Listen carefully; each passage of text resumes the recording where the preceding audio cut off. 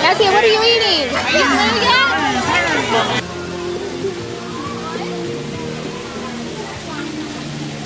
Because if I knew more, I wouldn't be able to tell you.